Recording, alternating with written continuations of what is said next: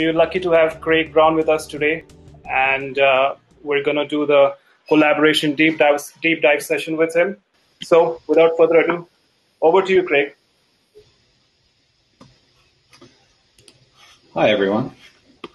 Today, we're going to do a little exercise. Uh, we're going to do a collaborative exercise, and I'm just going to share a link in chat. So, uh, what we're going to do today is run through a series of questions. At the end, I'm going to share some insights and data that I have accumulated over doing this workshop for three the last three years. So I've been doing this. I've been doing this session in agile conferences and meetups, um, mainly in Australia, but around the world, including the United States and Europe and Asia. Um, I started this process because we wanted to better understand what good collaboration is. We, we hear the word collaboration and we think, yes, must be good, but we don't really think beyond that. And I think that brute force thinking around the idea is all collaboration is good. Um, but then that leads to problems. For instance, if you're not collaborating my way, your collaboration is bad and my collaboration is good. So, how do we unpack those big ideas and turn them into something that's more negotiable, more actionable, and tangible, and helps us make real progress at the front line of work? So, what we're going to do today is it's a two part two part activity. The first part is I'm going to guide you through a bunch of questions. Now, I've just realized none of you can talk to me. Is that right? I can hear no one talking to me. So, this uh, this session is very much built around the idea of me asking you questions and people from the audience sharing back. Now, it appears this platform isn't going to let us do that, so we're going to have to find a workaround. Uh, I think we'll have to use the chat a little bit, and then I'll do some narration and just sharing some stories from previous sessions. So, another thing that I'd like you to do is you see this link is good, better collab, right? So we've I've put this in the uh, in the chat um, on this site, um, and if you could, there it is. If you could click on that, what we're going to do at the beginning is we're going to go through a series of uh, questions together. And if you type them in, what I've been doing with this website, it's a Google form at the end of it, I'm just accreting all the data, right? And so if you put your email address in at the end, I'll share with you the data as I get to stages of doing analysis and insights. Um, if I don't, uh, if I don't get your name, I don't share anything back. But I will, you know, I'll talk about that more at the end. Meanwhile, what I want to do is lead you through these questions, and, and with with no one speaking back, it's going to be interesting there's going to be these moments of silence, right? But just bear with me. So in, in 35 odd minutes or 30 minutes from now, we're going to run through these questions. And then at the back, the next step, I'm going to pull up some PowerPoint pages and show you some charts and diagrams and reflect on the things that I've learned doing these activities. So the first thing I would like you to ask yourself is what's a situation where you've seen great collaboration at work? And in particular, as you're thinking about it, what were the attributes? What were the things that made it great? Right? What were the behaviors in the particular situation that you're thinking of that made that situation great? So if you guys type an answer in here, what will happen is over time, I'll add that to my data set. And as we work through this thing, and then I'll play back some information to you after this event. What I will play to you at the end of this event is the aggregated data from previous previous workshops. So just you're taking a moment right now to think, where did I see great collaboration? And those of you that are sitting there waiting, grab a pen. If you don't want to do it online, grab a pen and paper and do it that way. Writing things down and reflecting is going to help us get to where we want to be. Okay. So the second question I want to ask you is like, why is it we think collaboration is valuable? And again, in your own time, with your own pen and paper, I'm going to ask you to write down a couple of dot points. I'm going to, given you guys can't talk back to me, I'm going to share some examples of things that people have said to me and some examples from my own life. But while I'm doing this, I want you to continue to think about writing your own answer.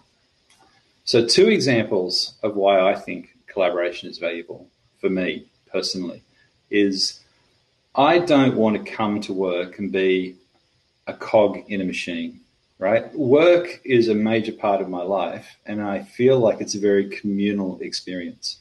I live in a community, I interact with people, and work for me feels more engaging and rewarding, and it energizes me more if I'm doing it with other people. So that's one reason why I think collaboration is better for me. Another reason I think collaboration is good is because many brains thinking about a problem, for instance, right, bring more perspectives to bear and are more encompassing in the things that we think about. And so we can see problems from more perspectives and we can generate more options when we start to think about solutions. And we can also bring more experience to bear. So we we leverage the experience of more people and, and the collective history of 10 of us might be 100 years of work experience, whereas the collective experience of two of us might be only 20, right? Or for some of you, it might be four years, who knows? So there, there's two things. Now, continue, write one, two, or three dot points more if you want to flood them in. Um, if any of you would like to share any particular examples, throw them into the chat and we can talk about them as well. So I'm very happy for people to, uh, as we look at these screens, very happy for people to throw comments into chat and then I'll play them back to the crowd. The next question I would like to ask you guys is I just gave you two examples of collaboration, but they, they very much were anchored in what I think of immediately, right? And the context there was me thinking about the um, the experience that I have at work. The second one, the second this second set of questions here asks us to think in a step by step broader organization. Um, thanks, Ankit. You've also thrown in great collaboration always comes while resolving a production issue. It's funny, isn't it? When we're in crisis, we're much more able to collaborate than when we're in a planned, methodical, controlled process. Uh, good point and hilarious observation. With these questions, what I would like you to do is I'd like you to answer each specific one. So it's what are the benefits of collaboration for me? So you heard me a minute ago say, I get energized by working with everyone else. Not everyone has that experience. Different people have different experiences. So if you could just take a moment to think of why you value collaboration. Then you can go on and you can say, what about my team? the collective around me, the five or 10 or whatever people it is that I work with day to day, what are they looking for? And in the context of something like resolving a production issue, what does the team get from better collaboration? What's the value proposition for them? As we continue to think at ever widening perspectives, what's the value of collaboration for our organization? Why is collaboration good for the whole company? good for the whole organization or department or wherever you work. So again, great observation, Ankit. Like you know, the team gets its benefits. The, that that benefit um, of the experience of iterating on collaborative activities builds trust, and, and there are feedback loops in competence and in trust and enthusiasm and engagement that kind of play and play and play. And they definitely we see them happen in teams, especially like in those you know second stage early adoption of agile, right? Where everyone starts to work together and trust and, and play as a team more. And then that cascades out into the organization as well. But how does it cascade into the organization? What are the benefits, say, the executive team or the shareholders see in your organization of better collaboration? Then we can go wider, right? Who is our organization there to serve? Our customers and clients, right? And so, what is the benefit that our customers and clients get from improved collaboration? Why is better collaboration going to make their world better? So Rishit suggested value delivery at the earliest opportunity is great for organizations. So if we're working together, we can get things out the door faster. Great, great observation. What are the benefits of collaboration for our customers? Again, write these things down because it's going to be good for you to go through the activity of thinking and writing it down. It makes you think more deeply and critically about these issues. The next question I have for you is beyond the organization and customer relationship. It's the, it's the society and the community that we live in, right? So, what is our collaboration at work going to do for our wider community, and how is it going to make things better? There. Anand and Ankit have thrown in reduced rework and community get dependability. Um, it's true, right? Like if people do what they they they say they're going to do, and it gets done properly, right? There's more feedback loops that play into trust and a sense of we're all in it together and a sense of mutual destiny and things like that. So in that page, I've asked you to think about the benefits of collaboration for yourself, for your team, for your organization, for your customers, and for the community that you live in. The next page asks us to say, let's get concrete about it. What does good collaboration look like for you today? And what I would like you to do, sorry, well, I must, must mess this up. What I would like you to do as you think about these questions, there they are, is make it tangible. Now, you can write one specific example, or you can maybe do two or three. But I'll, I'll use daily stand ups as an example, right? So for me, uh, collaboration today is our team, my team, come together for 10 to 15 minutes, four days a week, and we check in with each other and we ask each other, how are we going and what are we working on, right? We don't really follow the standard, what did I do yesterday? What am I going to do today? And what's blocking me? We just say, what are we working on and what's, what's what's challenging us. So I, I can write that down as an example. But then I could also say, what's better, right? And I would say in the meeting that I do, what would be better would be listening more deeply to each other, right? So we tend to listen superficially. And if somebody says, you know, there's a problem that I'm working on and I don't see my way to the end of it yet, we typically won't dive into that and engage in that conversation further. We'll wait for that person to come and grab us later. But that's actually an early signal that somebody could do with some help. So, better for me would be better listening to the signals that people need help. And what's better than that? Right? Well, I can't think of a specific, but as I'm talking, I'm thinking maybe what's better than that is that person before the stand up has already realized that they've got a challenge and they've gone and asked for help before the stand up. And so when we get to the stand up, they say, I've been having this problem with this issue, but I've asked that person for help and it's now under control. So there's an example of like, what does collaboration look like today? What's plus one? And what's another plus one on top of that? So you guys take a moment. I'm going to be silent for just a minute you guys take a moment and maybe think about and even write down answers to these three questions for me. And if anyone would like to, throw a comment into chat.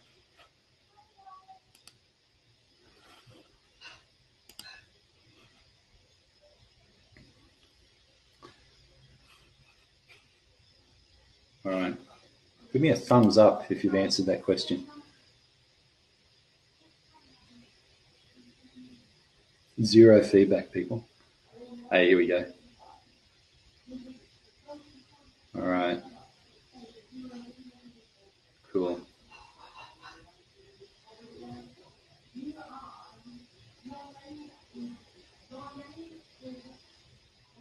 Okay, I'm going to move on to the next page. We've got about a third of the people saying, yep.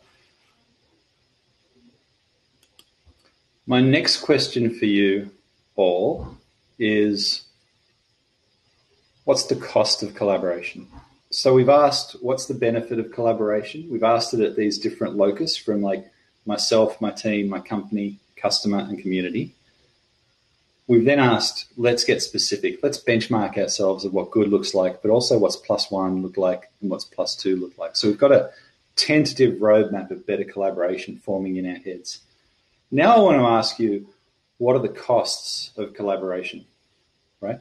Once again, I'd like you to answer this at the context of the cost to yourself, the cost to your team, the cost to the company, the cost to the customer, and the cost to the community. So you guys take some time, and then once you've started answering that, I will start playing back some of the entertaining comments that you're going to share share with me. Um, patience is absolutely a cost that we have to bear, right? Because we want to go faster. But it's like that adage go fast, go alone. Delivering a tangible and scalable solution, opening up cross functional opportunities within the team and the outside team as well. That strikes me as one of the benefits or one of the plus ones from the previous question.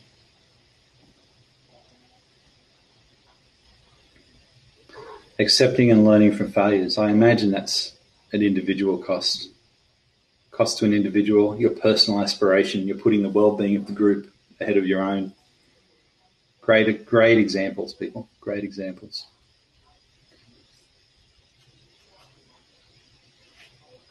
Let's also think about the cost to the team, the cost to the company. What are the costs of collaboration?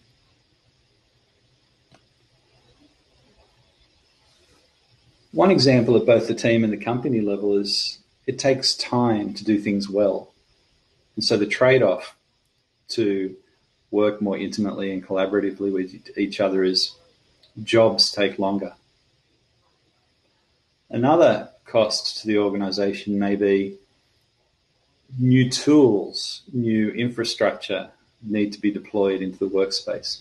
So, for example, the last six months, as many of us have been working from home, um, you know, getting access to tools like this um, that the conference is hosted on, or or video conferencing tools, or better microphones, or Miro boards, or whatever you're using, right, are expenses that the company needs to invest in to get the payback of the value of the collaboration.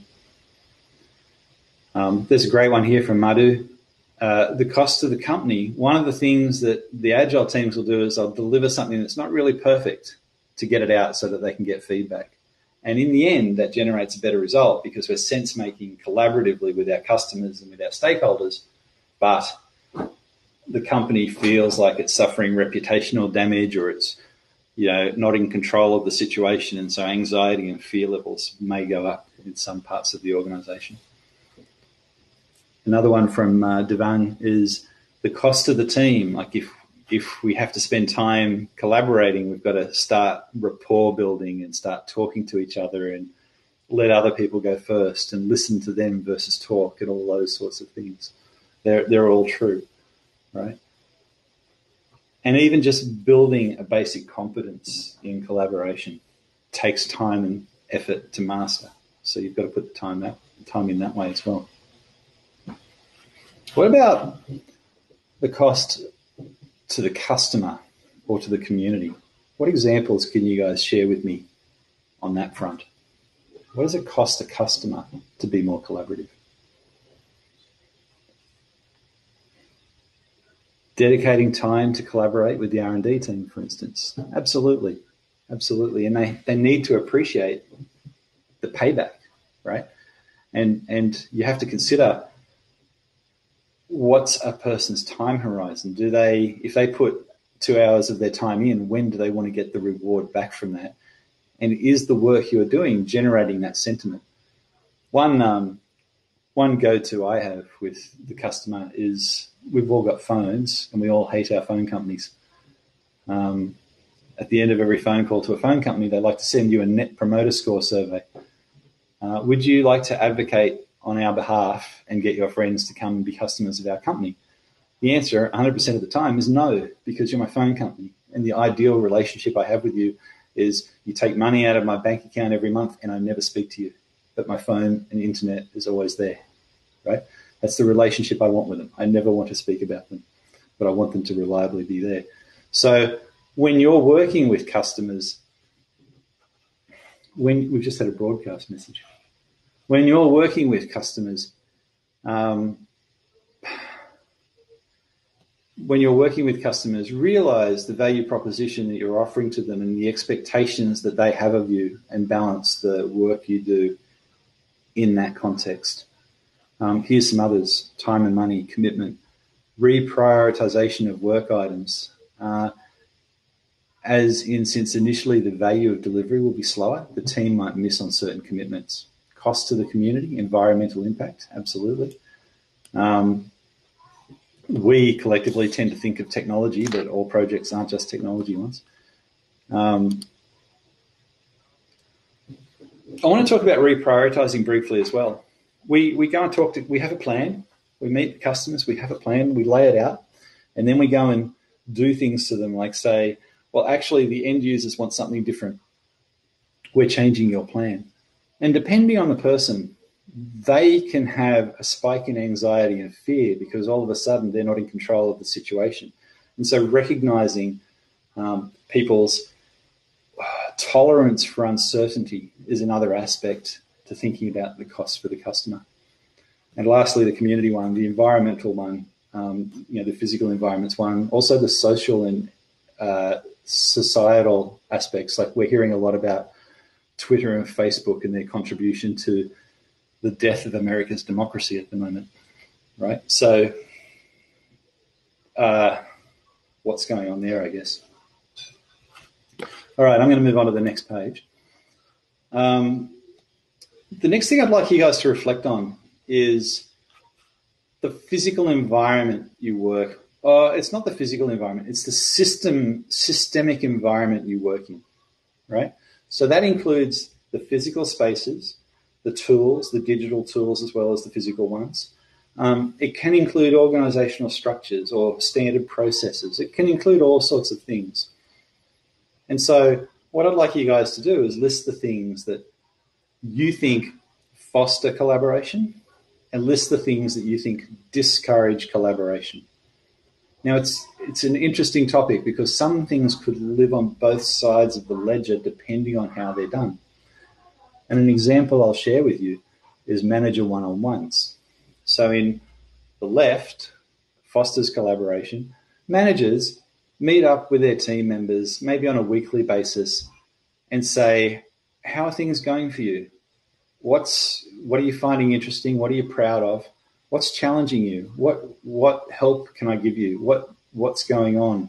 How are you feeling? Right? And a coaching conversation that kind of probes into those areas will surface opportunities for improvement. But it's proactive improvement where you're problem solving together in a coaching context with an employee. A different type of manager one on one could be here are your KPIs, you're 70% done, but you're behind schedule. What's going on? Right? That's an accusatory one, maybe focused on individual contribution at the expense of team performance. There's a whole bunch of things that could be going wrong in that type of manager one on one. So, so just a thing like a manager one on one meeting could live in both of those boxes depending on how they're executed. What I'd like you guys to do is just share one or two, or even three if you like, system conditions that foster collaboration and system conditions that discourage collaborations. Write them down, and if anyone would like, throw them into chat and I'll call them out. Meanwhile, I'm going to ask for another thumbs up. If you guys are enjoying the session, could I get the thumbs up? A little bit of feedback for me, just to tell me whether I'm on track or not. All right. Well, it is playing okay. Nice one. List the system conditions at your workplace that foster collaboration. List the system conditions at your work that discourage collaboration. No cubicles. I have another story that I'll play to you while you're all writing your own answers. Back in 2009, I had a software development team at a government organisation, and we were moved from the IT floor to a floor full of data entry people that were doing mail and process work. And so our team took our whiteboards, we had all our sticky notes and index cards, and we, we were in little um, desks that were all interlocked, interlocked in triangles. And so we put the whiteboards in a circle around our team area, and it was kind of like the wagons encircling the camp. And anyway, we were there for a couple of weeks, and our team used to laugh a lot, used to enjoy working together. But it was a government organisation, and most people in that particular organisation were pretty miserable most of the time because they had a bad organisational culture. One thing led to another, and the employees on the floor we were with complained about our whiteboards making the workspace less visually appealing. And so the cleaners on the weekend took everything away. And my team turned up on Monday morning and all of the post-it notes and all of the architecture diagrams and all of the like pin-ups of the UI were all gone, right? Of course, my team wanted to protest and say, we can't work. All our planning artifacts are gone. But it's just an example of uh, the space, right? And, and the, what's expected from the broader organizational community and how buildings are designed and how workspaces are designed can affect the way we work. Right? Um, discourage individual KPIs. I don't know what WE3 environment is, to be honest. Sorry about that, Prudvi. Yeah. All right, cool. I shared a couple of examples. Hope you're amused. Next page. Collaboration workbook. So this is one on you, right?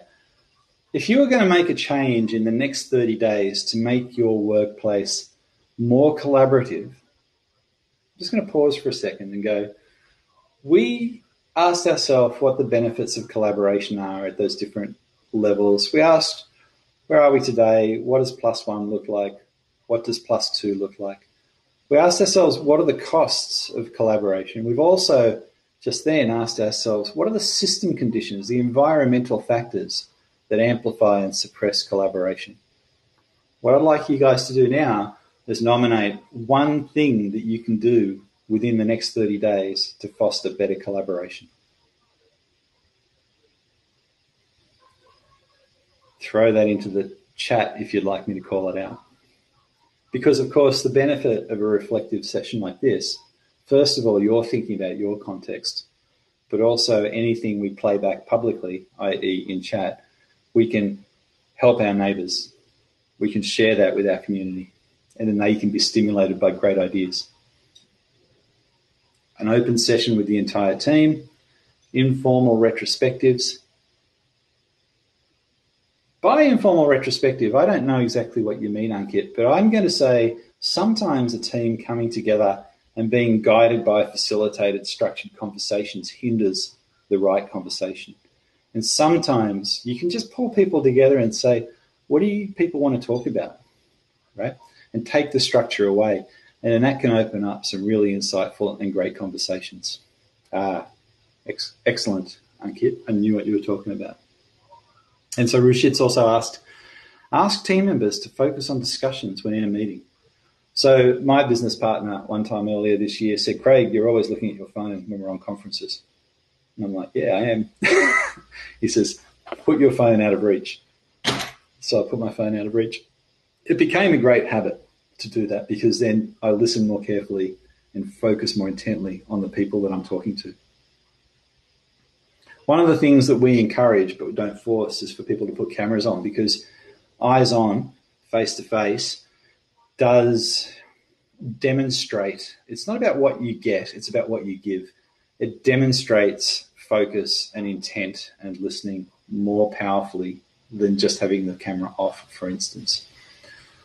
Um, Here's another one. In the team meeting, you don't have everyone agreeing with the subject. Address the reservations of the individual before, during, or after the meeting. So I guess there's circumstances in there, but that's right. Like, don't force consensus. There's this great stuff around decision making that says consent is a better decision making form than consensus, for instance.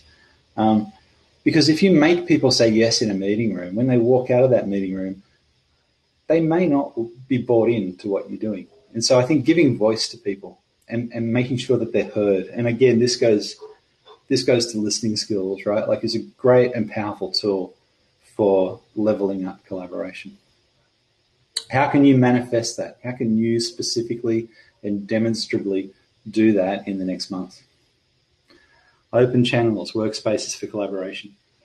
Ensure to circulate meeting minutes, presumably within a timely manner. Yeah, so there's lots of things that we can do to help other people, right? And again, if you look at these things, a lot of these suggestions that are coming out are all about not what's good for you, but what's good for others. And that's the core of collaboration, stepping forward and helping others be successful.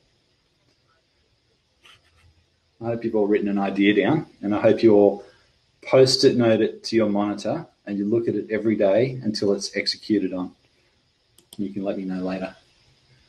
Um, if you've been writing into this thing and you would like me to share details, I'm eventually, um, probably over my summer at the end of this year, going to write up a paper on this and I'll just anonymize all the data and I'll be sharing some stuff, but I'm going to share you some early versions of what that data looks like in just a minute. So, but if you'd like to engage in conversation or anything, just put your contact details there and I will um, I will talk to you. And there's also a keep my stuff private uh, thing there as well. So, oh, by the way, and I don't sell any of that. I don't do anything with it. It's purely just to share back into the agile community. Um, and it's just because I think this is a really interesting topic. Now, what I'm going to do is um, just pause for a moment so if you guys want, um, you can find me via ConfEngine and you can message me via that, or you can contact me via whatever method you, you like, or, or this form. So the form, I'll put the, whoops, I'll put this link here, which is a way of doing this form in the uh, in the chat at the very end of the session, and of course I'll be in the um, uh, I don't know the VIP lounge or whatever the lounge or whatever it is at the end of this session, so we can chat more if anyone wants to.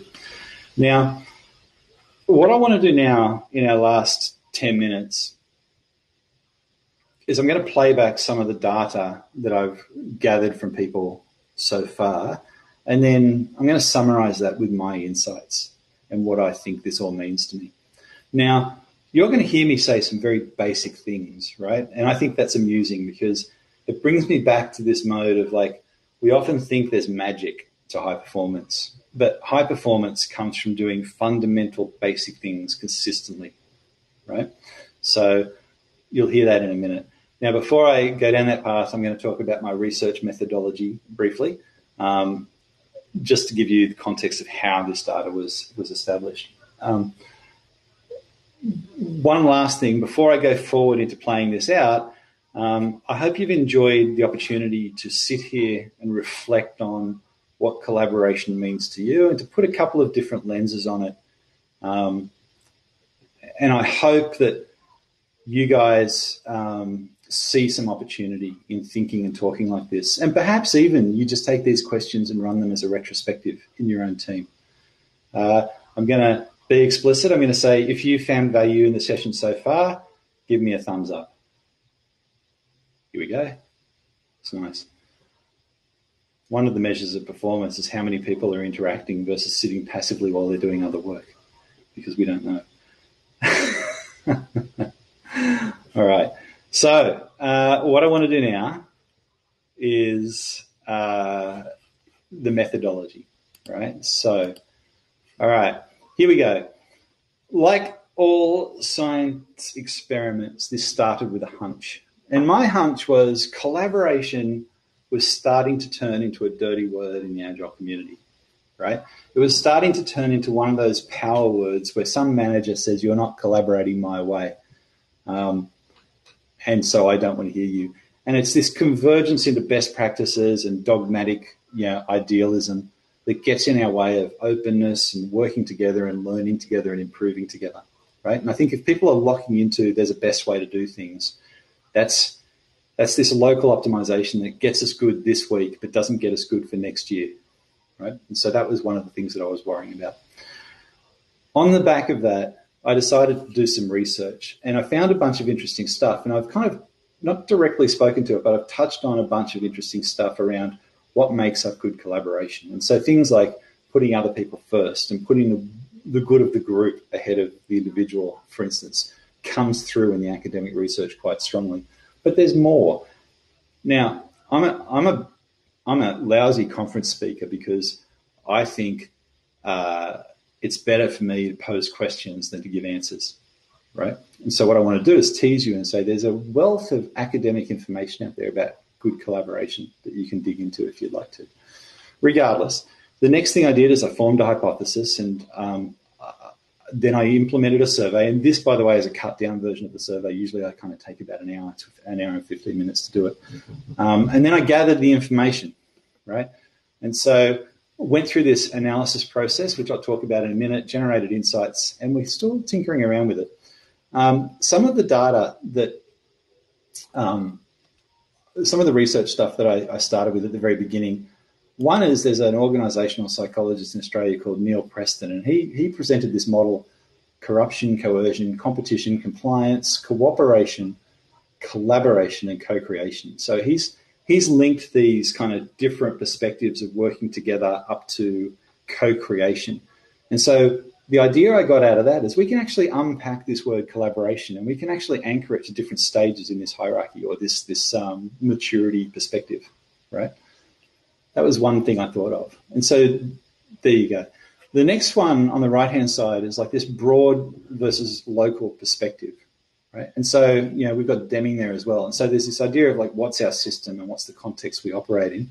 So systems thinkers are always challenging themselves with what are the boundaries on this system that we're talking about? And so by asking about what does collaboration cost and contribute to our community, it changes our perspective than when we're just thinking about like ourselves or our team of four or five people that we work with day to day. Um, and I think by taking that broader perspective, it changes the way we think about some of these topics, right? And we get less focused on some of those details and start to think more holistically and big picture. Of course, there's the Deming stuff, systems drive outcomes. Most of us are familiar with that. Um, and then lastly, there's some ideas out of product management. Whenever you're kind of looking at a problem and you want to get a breakthrough innovation, one of the ideas you should experiment with is bundling and unbundling. Um, another idea is lean change. So improvements. Jason Little wrote that book years ago called Lean Change, and the idea being when change is deployed in an organization, the people at the front line are probably best equipped to know what to improve and how to improve it. And you get like the Andon Cord in the Toyota way, and you get like you know um, lead from the front and all that sort of stuff. And then the last one is language of a tool of a, is a tool of oppression, and that comes out of some 1960s and early 1970s research about psychology and sociology and stuff like that. So that was some of my areas that I was aware of at the very beginning that helped me form the views. Um, the next thing, the hypothesis. So the hypotheses that I went in with is I think collaboration's headed the way of a power word. I think also that people have a very fuzzy and loose idea of what collaboration is. And I think that loose, intangible, fuzzy view gets in the way of us making concrete improvement plans. And then we fall into the world of best practices and following other people's patterns versus mindfully improving in our own contexts. Um, I also think that um, the fact of reflecting on a topic makes us more aware and helps us form more concrete views of what a thing is. And so taking a question oriented approach to this session um, kind of locks me into like comes from that comes from that hypothesis. And the last one is like I actually went in with this hypothesis that I think um, in the agile community in particular, we say a lot of things are best practice or what we should do, but our behaviors are different. And so one of the things I was thinking of here is um, we would believe uh, you know, collaboration and mindful improvement and all those things are good. But then when we look at what agile coaches are doing, they're just kind of teaching us to paint by the numbers using Scrum or Kanban or whatever. Uh, it turned out, um, have I answered those things in this? It turned out, I'll give you the answers in a minute. So then I did the survey. Um, when I got the answers, I go through this bucketing process and I create some charts. Uh, there's the survey, um, there's the buckets, I will tell you the hypotheses, right? Do we think? Oh, actually, I'll show you the charts first. So the, the storytelling one, tell me a story of when you did great collaboration at all these meetups and conferences. I've kind of stacked it up. That's the distribution of people, and there's some examples there to help you benchmark against your own real world. I'll put this on ConfEngine immediately after the session, by the way. Um, so that's the kind of the spread across Dr. Preston's hierarchy, competition, compliance, cooperation, etc. The next thing is what's good look like, or what's collaboration look like, what is better, plus one, plus two. And you see these topics alignment, flow, learning, respect, nurture, purpose, autonomy, shared problems, transparency. They're the things. This this is the, the this is the areas that people are intending to go right to improve things. Um, or, or what what good looks like today is orange. What better looks like is the next two colors. Then I asked the question around the costs, right? So in this one, the costs Sorry, I'm just working the PowerPoint thing a little bit. Uh, in this instance, the cost to me, most people express that as time. Um, the cost to my team, once again, expressed as time. The cost of the organisation starts to be shaped as money, but money and time, more or less the same thing. The cost to customers presented as low quality. Where did I put community? Hmm, I haven't got it there. But what's come out just in the last few months, doing it during the COVID season, is also uh, also emerging is trust um, over in the organization and customer sides is trust and faith. Um, and over on the cost to me and my team, another thing that's emerging more recently is energy, um, particularly emotional energy, right? I'm going in to challenge the status quo. I'm going in to try to make things better. You know, I'm trying to drive for better collaboration. I'm trying to get us all on the same page. But there's all these current state factors that play against me, right? People's current behaviors, how they're incented, the way management treats us, all these things. Sure, they take time, but they also take resilience and emotional energy to persist. Right? So that's another thing that's emerging more recently. Lastly, system conditions. So that's just the same kind of stuff. Shared purpose, respect, co-location. Ha, that's one from pre-COVID days. But appreciation, autonomy, aligned approach, making progress, nurturing feedback and structure. So all those things help us uh, help us perform if those things are in place. Now, what I got out of that from the hypotheses is: Do we think collaboration's headed the way of a cliche or a power word? Well, maybe, right? It doesn't really come through the data, but at the end of each of these sessions, I have a conversation with people, and people tend to express uh, that that's true. So I Anecdotally, I'm hearing it, but I'm not seeing it come through in the data. The second one is we think people have a fuzzy idea of what co- collaboration looks like. That leads to suboptimal results. We think getting more concrete will help us build better roadmaps. And that's a very concrete yes to that one. So the feedback of doing this generates concrete plans for people to make their working life better. The next one is by doing this, you form, well, that's kind of part two of the same one. And the last one is like we think people will say one thing and do another, and that'll come through. And the idea is maybe, right? So I think that's people. We saw some variation in thoughts and actions, but it doesn't really come through strongly. And I think what the deal is is that means that there's some signals, but we need to kind of poke into it more further, probably with some interviews or something like that to to reframe that particular thing. So we're not 100% sure. So what's come out of this is like I, I have a very firm view that doing this workshop and really asking yourself what is collaboration and unpacking the idea and coming at it from a costs and benefits point of view and you know and, and looking at it from different perspectives helps you think about what you need to do to make your workplace more collaborative um, and, and, also get the payoff at the right rate. Um, here's my three big insights in my last one minute. So we all have a shared view that collaboration is good in the abstract, but we need a more concrete plan. The priority areas that we think have the most impact for good from those two charts a shared mission, alignment in priorities, flow, and a culture of respect and learning. So if you're an agile coach or, or a manager, right, those five things are the things that you want to focus on putting in place if you want better collaboration. Right? Shared mission, alignment in priorities, flow, and a culture of respect and learning. And lastly, if we want to break beyond our current levels of performance via collaboration, We need you and me, the person to my left and the person to my right. We all need to muster the mental and emotional energy to deal with that, right? So that would go to the idea of forming alliances, talking to other people, um, not going out the front alone, but going together with others, right? So that we don't burn out, right? So they're they're the kind of the big takeaways for me. And so I think with that, I will kill the. Uh, and I'll say, that's my little collaboration story. I hope it was useful for you.